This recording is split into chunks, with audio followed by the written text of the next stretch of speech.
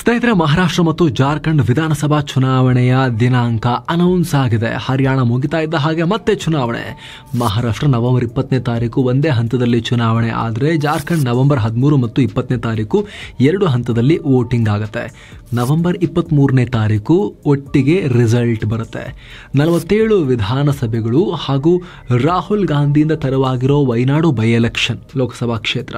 ಅದರದ್ದು ಕೂಡ November ಹದಿಮೂರಕ್ಕೆ voting ನಡೆಯುತ್ತೆ. ಮೊದಲಿಗೆ ಕ್ವಿಕ್ ಆಗಿ ಮಹಾರಾಷ್ಟ್ರದ ಮಹತ್ವ ನಾವು ನೋಡ್ತಾ ಹೋದರೆ, ಮಹಾರಾಷ್ಟ್ರ ರಾಜಕೀಯವಾಗಿ ಭಾರತದ ಎರಡನೇ ಅತಿ ದೊಡ್ಡ ರಾಜ್ಯ ಪೊಲಿಟಿಕಲಿ. ಆರ್ಥಿಕವಾಗಿ ಭಾರತದ ಪವರ್ ಹೌಸ್. ಜಿ ಡಿ ಪಿಗೆ ಹದಿನೈದು ಪರ್ಸೆಂಟ್ ಇದೊಂದೇ ರಾಜ್ಯ ಕೊಡುಗೆ ಕೊಡುತ್ತೆ. ಅಲ್ಲದೆ ರಾಜಕೀಯ ಪಕ್ಷಗಳಿಗೆ ಈ ಎಲೆಕ್ಷನ್ ಕೂಡ ತುಂಬಾ ಇಂಪಾರ್ಟೆಂಟ್. ಮೊದಲನೇದು ಆರ್ಥಿಕ ವಿಚಾರವಾಗಿ. ಮುಂಬೈ, ಬೆಂಗಳೂರು, ಹೈದರಾಬಾದ್, ಕೋಲ್ಕತ್ತಾ, ದಿಲ್ಲಿ ಇವೆಲ್ಲ ಭಾರತದಲ್ಲಿ ಅತಿ ಹೆಚ್ಚು ಆರ್ಥಿಕ ಚಟುವಟಿಕೆಯನ್ನ ಹೊಂದಿರುವಂತ ನಗರಗಳು. ಹೀಗಾಗಿ ಪೊಲಿಟಿಕಲ್ ಪಾರ್ಟಿಗಳಿಗೆ ಕ್ಯಾಶ್ ಕೌ, ದುಡ್ಡು ಹರಿಸೋ ಕಾಮಧೇನುಗಳು. ಈಗ already B J P Bengaluru Hyderabad ಎರಡನ್ನೂ ಕಳ್ಕೊಂಡಿದೆ. ಕೋಲ್ಕತ್ತಾ ಅಂತೂ ದಕ್ಕಿಲ್ಲ. ಈಗ ಮುಂಬೈನೂ ಕಳ್ಕೊಂಡ್ರೆ ಆರ್ಥಿಕವಾಗಿ ಬರಡಾಗಬೇಕಾಗತ್ತೆ. ಒಂದು ವೇಳೆ ಕಾಂಗ್ರೆಸ್ ಗೆದ್ದರೆ ಕಾಂಗ್ರೆಸ್ನ ಆರ್ಥಿಕ ಶಕ್ತಿ ಹೆಚ್ಚಾಗುತ್ತೆ. ಏನು ರಾಜಕೀಯವಾಗಿ ಈಗ ಆಲ್ರೆಡಿ ಹೇಳಿದ ಹಾಗೆ ಮಹಾರಾಷ್ಟ್ರ ಎರಡನೇ ಅತಿ ದೊಡ್ಡ ರಾಜ್ಯ. ಲೋಕಸಭೆ ಬಿಡಿ, ರಾಜ್ಯಸಭೆಗೆ ಹತ್ತೊಂಬತ್ತು ಸಂಸದರು ಹೋಗ್ತಾರೆ. ಆ ನಿಟ್ಟಿನಲ್ಲೂ ಯು ಪಿ ಬಿಟ್ಟರೆ ಎರಡನೇ ದೊಡ್ಡ ರಾಜ್ಯ ಇದು. ಆಲ್ರೆಡಿ ರಾಜ್ಯಸಭೆಯಲ್ಲಿ ಎನ್ ಡಿ ಎ ಟೈಟ್ ಸಿಚುವೇಷನಲ್ಲಿದೆ ಮೂರ್ನಾಲ್ಕು ಸೀಟ್ ಶಾರ್ಟೇಜ್ ಇದೆ. ಇದರಲ್ಲೂ ಕಳ್ಕೊಂಡ್ರೆ ಒನ್ ನೇಷನ್ ಒನ್ ಎಲೆಕ್ಷನ್ ಹಾಗೂ ಯೂನಿಫಾರ್ಮ್ ಸಿವಿಲ್ ಕೋಡ್ನಂತಹ ಮಹತ್ವದ ಬಿಲ್ಗಳನ್ನು ಪಾಸ್ ಮಾಡಿಕೊಳ್ಳೋದು ಕಷ್ಟ ಆಗುತ್ತೆ. ಸಾವಿರದ ಒಂಬೈನೂರ ಎಂಬತ್ತೈದರಿಂದ ಇಲ್ಲಿ ಯಾವುದೇ ಪಕ್ಷ ತಾನೇ ತಾನಾಗಿ ಸ್ವಂತ ಬಲದಲ್ಲಿ ಅಧಿಕಾರಕ್ಕೆ ಬಂದಿಲ್ಲ. ಈ ಸಲ ಅಂತೂ ಮಹಾರಾಷ್ಟ್ರದ ಪಾಲಿಟಿಕ್ಸ್ ಚಿತ್ರಾನ್ನ ಆಗಿದೆ. ಚಿತ್ರಣದಲ್ಲಿರೋಕ್ಕಿಂತ ಜಾಸ್ತಿ ಕಲರ್ಫುಲ್ ಆಗಿ ಹೋಗಿದೆ ಇದು. ಶಿವಸೇನೆ ಶಿಂದೆ ಬಣ, ಬಿಜೆಪಿ, ಎನ್ಸಿಪಿ, ಅಜಿತ್ ಪವಾರ್ ಬಣ, ಮಹಾ ಯುಟಿ ಅಲಯನ್ಸ್ ಹೆಸರಲ್ಲಿ ಸರ್ಕಾರ ಮಾಡ್ತಾ ಇದ್ರೆ ವಿರೋಧಿ ಪಾಳಯದಲ್ಲಿ ಮಹಾ ವಿಕಾಸ್ ಅಗಾಡಿ ಇದೆ. ಇದರಲ್ಲಿ ಕಾಂಗ್ರೆಸ್, ಶಿವಸೇನೆ ಉದ್ದವ್ ಬಣ, ಎನ್ಸಿಪಿಯ ಶರದ್ ಪವಾರ್ ಬಣ ಇದಾವೆ. ಎರಡ್ ಸಾವಿರದ ಹತ್ತೊಂಬತ್ತರ ಮಹಾರಾಷ್ಟ್ರ ವಿಧಾನಸಭಾ ಚುನಾವಣೆಯಲ್ಲಿ ಒಟ್ಟು ಇನ್ನೂರ ಎಂಬತ್ತೆಂಟು ಸೀಟ್ಗಳ ಪೈಕಿ ನೂರ ಐದು ಸೀಟ್ಗಳನ್ನು ಗೆದ್ದು ಬಿಜೆಪಿ ಸಿಂಗಲ್ ಲಾರ್ಜೆಸ್ಟ್ ಪಾರ್ಟಿ ಆಗಿತ್ತು. ಅವತ್ತು ಬಿಜೆಪಿಯ ಮಿತ್ರ ಪಕ್ಷವಾಗಿದ್ದ ಶಿವಸೇನೆ ಐವತ್ತಾರು ಸೀಟ್ ಗೆದ್ದಿತ್ತು. ಇಬ್ಬರು ಸೇರಿ ಸರ್ಕಾರ ಮಾಡಿದ್ರು. ಉದ್ಧವ್ ಠಾಕ್ರೆ ಸಿಎಂ ಆಗಿದ್ರು. ಆದರೆ ಅಧಿಕಾರದ ಕಿತ್ತಾಟ ನಡೆದು ಶಿವಸೇನೆ, ಎನ್ಸಿಪಿ, ಕಾಂಗ್ರೆಸ್ ಜೊತೆಗೆ ಮಹಾವಿಕಾಸ ಅಗಾಡಿ ಸರ್ಕಾರ ಮಾಡಿಕೊಂಡಿತ್ತು. ಆದರೆ ಎರಡು ಸಾವಿರದ ಇಪ್ಪತ್ತೆರಡರಲ್ಲಿ ಏಕನಾಥ್ ಶಿಂದೆ ಶಿವಸೇನೆಯಿಂದ ಬಂಡೆದ್ದು ಬಿಜೆಪಿಯೊಂದಿಗೆ ಸೇರಿಕೊಂಡ್ರು. ಒಂದು ವರ್ಷದ ನಂತರ ಅಜಿತ್ ಪವಾರ್ ಕೂಡ ಎನ್ ಸಿ ಪಿ ಬಿಟ್ಟು ಬಂದು ಬಿಜೆಪಿ ಶಿಂದೆ ಕ್ಯಾಂಪನ್ನು ಸೇರ್ಕೊಂಡ್ರು. ಆದರೆ ಅವಾಗಿನಿಂದ ಮಹಾಯುಟಿ ಸರ್ಕಾರ ಸಾಕಷ್ಟು ಚಾಲೆಂಜಸ್ಸನ್ನು ಫೇಸ್ ಮಾಡ್ತಾ ಇದೆ. ಈಸಿ ಇಲ್ಲ. Maratha reservation O B C reservation ಹೋರಾಟ. ಮಿತ್ರಕೂಟದಲ್ಲಿ ಅಸ್ಥಿರತೆ. ಲಾ ಆ್ಯಂಡ್ ಆರ್ಡರ್ ಸಮಸ್ಯೆ ಹೀಗೆ ಸಾಕಷ್ಟು ಟೀಕೆಗಳನ್ನು ಶಿಂದೆ ಸರ್ಕಾರ ಫೇಸ್ ಮಾಡ್ತಾ ಬಂದಿದೆ. ಇದೇ ಕಾರಣಕ್ಕೆ ಲೋಕಸಭೆಯಲ್ಲಿ ಕೆಟ್ಟ ಪರ್ಫಾರ್ಮೆನ್ಸನ್ನು ಬಿ ಜೆ ಪಿ ತೋರಿತ್ತು.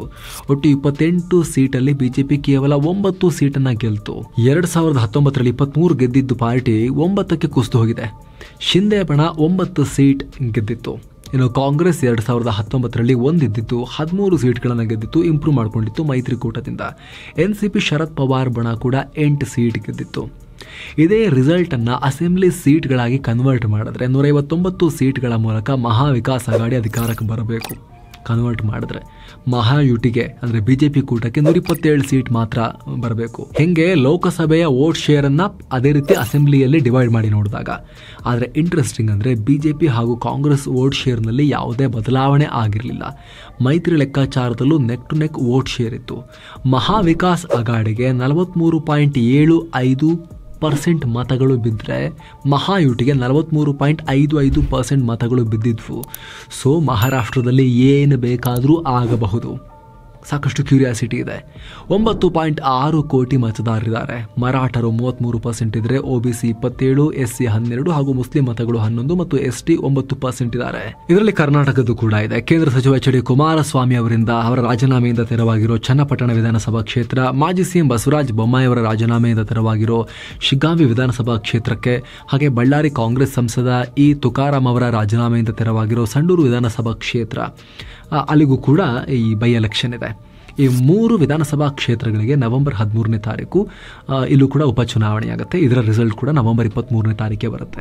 ಇನ್ನು ಸ್ನೇಹಿತರೆ ಸೆವೆನ್ ಸೈನ್ಸ್ ಟೂರಿಸಂ ನ ಹೊಸ ಬ್ಯಾಚ್ ಓಪನ್ ಆಗಿದೆ. ಈ ಸಲ ಕಾಶಿ ಅಯೋಧ್ಯೆ ಜೊತೆಗೆ ಗಯಾ ಬೋಧ್ ಗಯಾನು ಇರುತ್ತೆ. ಜಸ್ಟ್ ಮೂವತ್ತೇಳುವರೆ ಸಾವಿರ ರೂಪಾಯಿಗೆ ಕಾಶಿ ಅಯೋಧ್ಯೆ ತ್ರಿವೇಣಿ ಸಂಗಮ, ಸಾರನಾಥ, ಗಯಾ ಬೋಧ್ ಗಯಾ. ಒಟ್ಟು four night five days trip ಇದು. ಪ್ಯಾಕೇಜ್ನಲ್ಲಿ ವಿಮಾನ tickets three star hotel stay ಮೂರು ಹೊತ್ತು ಊಟ, ದೇವರ ದರ್ಶನ ಎಸಿ ಟ್ರಾನ್ಸ್ಪೋರ್ಟ್ ವ್ಯವಸ್ಥೆ twenty four seven tour manager ಹಿರಿಯ ನಾಗರಿಕರಿಗೆ ವಿಶೇಷ ಕೇರ್ ಎಲ್ಲ ಇರುತ್ತೆ. ಹೊರಡೋ ದಿನ ಹದಿನೆಂಟು ನವೆಂಬರ್ ಎರಡ್ ಸಾವಿರದ ಇಪ್ಪತ್ನಾಲ್ಕು. ಕೆಲವೇ ಸೀಟುಗಳು ಲಭ್ಯ ಇದೆ.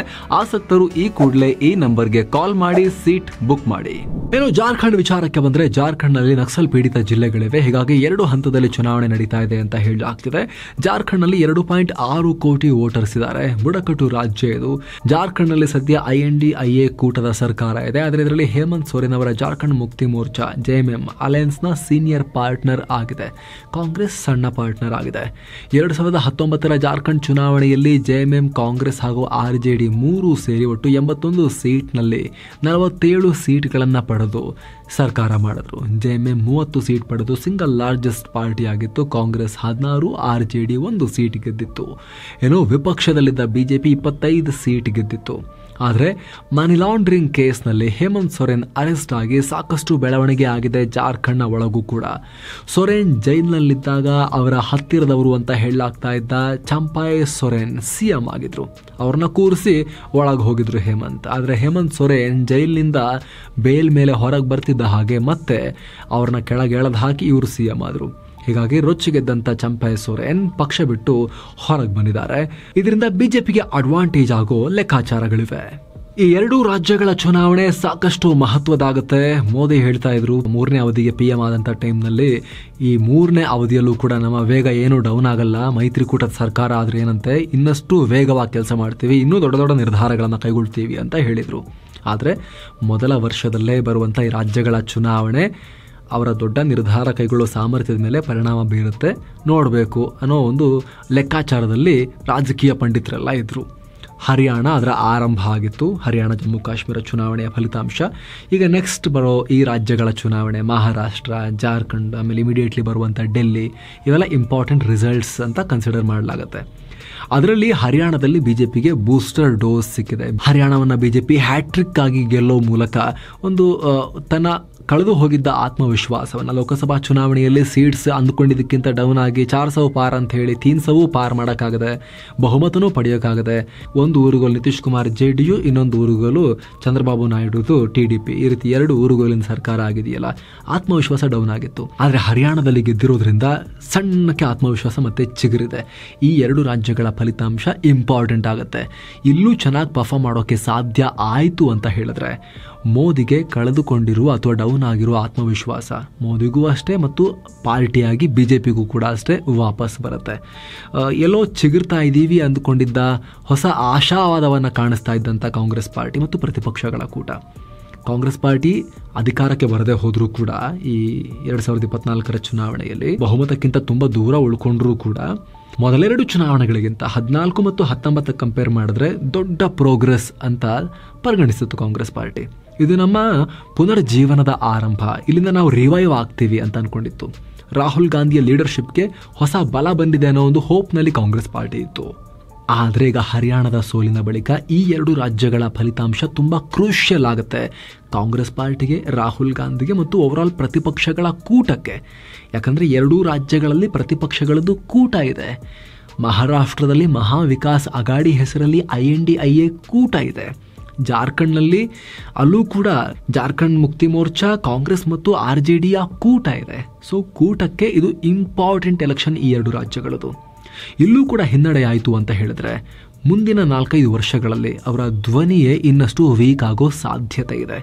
ಇಲ್ಲ, ಇಲ್ಲೇನಾದರೂ ಕೂಡ ಬಿಜೆಪಿಯನ್ನು ಸೋಲಿಸುವಲ್ಲಿ ಯಶಸ್ವಿ ಆದ್ರು ಅಂತ ಹೇಳಿದ್ರೆ ಇದು ಪ್ರತಿಪಕ್ಷಗಳ ಧ್ವನಿಯನ್ನ ಜಾಸ್ತಿ ಮಾಡುತ್ತೆ. ಕಾಂಗ್ರೆಸ್ ಮತ್ತು ಕೂಟದ ಪವರ್ ಜಾಸ್ತಿ ಆಗುತ್ತೆ. ರಾಹುಲ್ ಗಾಂಧಿಗೆ ಇನ್ನಷ್ಟು ಬಲವರ್ಧನೆಯಾಗುತ್ತೆ ಹರಿಯಾಣದಲ್ಲಿ ಕಳ್ಕೊಂಡಿರೋ ಕಾನ್ಫಿಡೆನ್ಸ್ ಅನ್ನ ಇಲ್ಲಿ ಮತ್ತೆ ವಾಪಸ್ ಗಳಿಸ್ಕೊಂಡಂಗಾಗುತ್ತೆ. ಆಗ ಪ್ರತಿಪಕ್ಷಗಳ ಕೂಟ ಫ್ರಂಟ್ ಫೂಟಲ್ಲಿ ಬಂದು ಆಡೋಕೆ ಶುರು ಮಾಡ್ತಾರೆ. ಪಿ ಎಂ ನರೇಂದ್ರ ಮೋದಿ ಮತ್ತು ಬಿಜೆಪಿಯ ಕೇಂದ್ರ ಸರ್ಕಾರ ಕೂಡ ಬ್ಯಾಕ್ ಫುಟ್ಗೆ ಹೋಗಬೇಕಾಗತ್ತೆ. Big bang reforms big bills ಅಂತ ಏನು ಹೊರಟಿದ್ದಾರೆ. ಅದಕ್ಕೆ ಸರಿಯಾದ ಬಲ ಸಿಗೋದಿಲ್ಲ ಬ್ಯಾಕ್ ಫುಟ್ಗೆ ಹೋಗಬೇಕಾಗತ್ತೆ, ಹಿನ್ನಡೆ ಆಗುತ್ತೆ. ಸೊ ಕ್ರೂಷಿಯಲ್ ಎಲೆಕ್ಷನ್ ಇದಕ್ಕೆ ಸಂಬಂಧಪಟ್ಟಂತೆ ನಿಮಗೇನನ್ಸುತ್ತೆ ಕಾಮೆಂಟ್ ಮಾಡಿ ತಿಳಿಸಿ, ಮತ್ತೆ ಮತ್ತೆ ಭೇಟಿ ಆಗ್ತಿರೋಣ ನಮಸ್ತೆ.